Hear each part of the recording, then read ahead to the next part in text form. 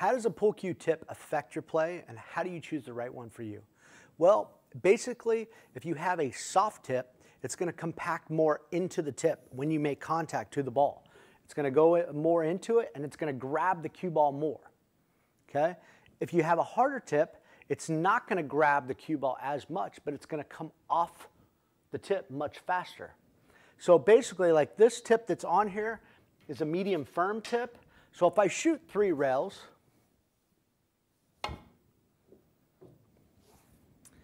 it comes off the tip pretty fast and spins.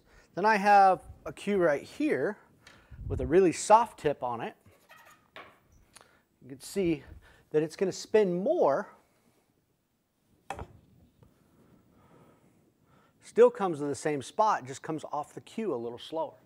That's pretty much the distance difference. So if you have a soft tip, it grabs the ball more, but it comes off slower. If you have a hard tip, comes off faster, but grabs the ball less. That's the difference.